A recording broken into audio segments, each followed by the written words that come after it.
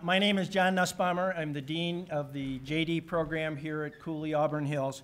And on behalf of uh, Cooley President Don LeDuc, our Board of Directors, and all our students, faculty, and staff at all four of our campuses, welcome to this wonderful event and thank you for joining us today.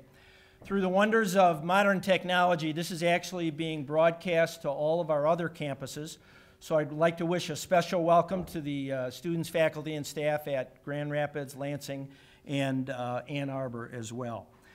I want to personally thank Justice Joubran and uh, the American Association of Jewish Lawyers and Jurists for bringing Justice Joubran to Metropolitan Detroit. And I'd like to especially thank Tim Atala, uh, one of our Cooley graduates, uh, Tom Cranmer, one of our board members, and the Miller Canfield Law Firm for making all of this possible and bringing this event to our campus.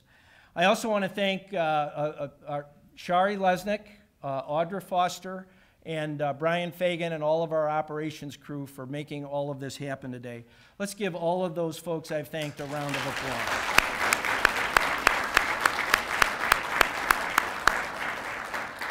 Uh, two procedural notes. If you've got a cell phone, please turn it off. And we do have a couple of judges in the audience who will confiscate your phones if they do go off. And uh, secondly, Justice Joubran will take some questions after his, his presentation. Uh, and there are note cards and pens at the seats. And if you have a question, jot it down, pass it to one of the aisles, and we'll bring that up front and take care of it. Um, at Cooley, we believe strongly in the diversity of cultures and ideas that Justice Joubran represents, and that's why we're so very pleased that he's able to be with us here today. And without further ado, I'd like to introduce Mr. Stephen Greenwald, the president of the American Association of Jewish Lawyers and Jurists, who will introduce Justice Joubran.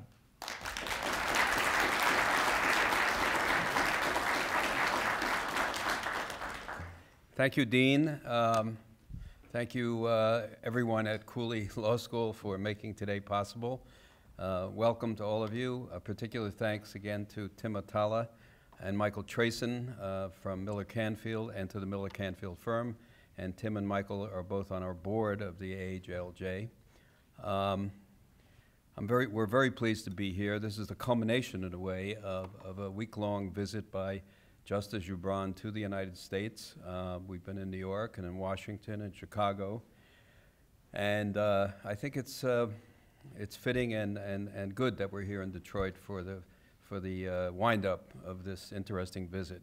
And I also want to thank Shari Lesnick, yes, for, and the Dean for, for organizing everything. So thank you very much. Um, I met Justice Joubran uh, several years ago on one of my visits to Israel and my visit to the Supreme Court. Uh, I got to know him. Uh, I've got to uh, uh, spend time with him um, uh, socially and professionally. Uh, and I came to admire him as a, as a person and as a jurist uh, and as a lawyer. Um, and uh, the genesis of the idea for asking him to come here, as I mentioned earlier, really started here in Detroit when I met with a couple of young uh, Arab American law students uh, about a year and a half ago uh, and mentioned the fact that there was a a member of the Supreme Court of Israel from the uh, Israeli Arab community, which was a fact that they were not aware of and quite taken aback uh, about that. And uh, that started me thinking about the fact that there isn't sufficient awareness, not just of that fact, but really about the complexity of Israeli society uh, um, in general. And uh, also, having spent some time in Israel and getting to know people in the legal community there and on the courts, uh, I think that uh, I, I, truly believe that Israel uh, represents uh, a great model in terms of the rule of law and the strength of the rule of law and the centrality of the rule of law in the Supreme Court in uh, Israeli democracy, not just in the region, but really worldwide. So I thought I saw two opportunities in asking Justice Joubran to visit the United States. One was to uh, have a dialogue about uh, what he, in some sense, what he represents in terms of, of modern Israel and the, and the uh, diversity and complexity of the society there. And secondly, to talk about the rule of law and the judiciary in Israel. So I'm very pleased that he agreed to do that. And uh, we've had a, a good week. Justice Joubran comes from a family that has lived in uh, what is now Israel uh, for over 200 years. Um, he lives in Haifa, and he'll probably say a few words about that beautiful city. Uh, he attended uh, uh, Hebrew University Law School, graduated from the law faculty at Hebrew University. He then was in private practice in Haifa as a lawyer, criminal law, and general practice. He was then appointed uh, as a magistrate judge um, in Haifa, and after several years as a magistrate judge, he was elevated to the district court in Haifa, and he'll tell you a little bit about what those gradations mean. And then in 2004, Justice Joubran was named uh, to the Supreme Court of Israel. Um, and he was and uh, the first permanent member of the court from the Israeli Arab community. And it was a significant and signal, uh, singular, singular and significant event in uh, Israeli history. Uh, and uh, in one of the meetings we had, he was actually compared to Justice Marshall. So, Thurgood Marshall, and John Marshall. um, so, uh, and in addition to uh, serving on the courts and in the Supreme Court, uh, Justice Joubran has founded a number of organizations uh, that work toward uh, bridging the bridging the communities, the Jewish and Arab communities in Israel. He's received many awards for that, including the Lord Mark Seif Prize for advancing uh, relationships between uh, Jews and Arabs in Israel. He's uh, on the board of trustees of the University of Haifa, where he's also a lecturer uh, at the law school.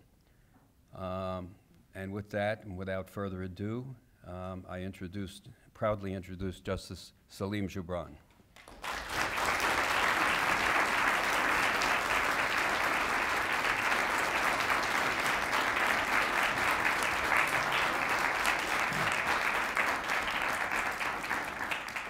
Good morning to everybody. Thank you, uh, Steve, for your nice introduction. Uh, thank you. I would like to thank the Dean faculty for this uh, kind hospitality and giving me this opportunity to uh, address you today in this very prestigious law school, which is the largest school in the country. I heard many thing, many good things uh, about your school, and if a judge says that he heard many good things, it's good to hear it because I think uh, you are doing a very good job, and um, it's an honor for me to uh, address you today. Well, I'll try to give you a, a brief overview about the judiciary in Israel, and uh, if there will be questions, I'll try to uh, answer. The origin of the uh, legal system in Israel uh, was uh, Ottoman origin because the Ottomans ruled the country for 400 years. And um, then there was the British mandate for 30 years. And since 1948, uh, we have our own laws enacted by the Israeli Knesset parliament. Uh, judges uh, in Israel are independent from any other authority or any other person.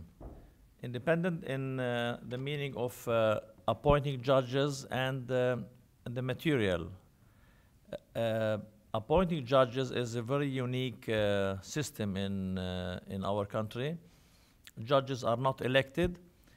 Uh, judges are appointed uh, upon the recommendation of uh, a special committee of nine members headed by the Minister of Justice and among its members another minister from the cabinet, two members of the Israeli Association Bar, and uh, two members of the parliament and three justices of the Supreme Court, including the president.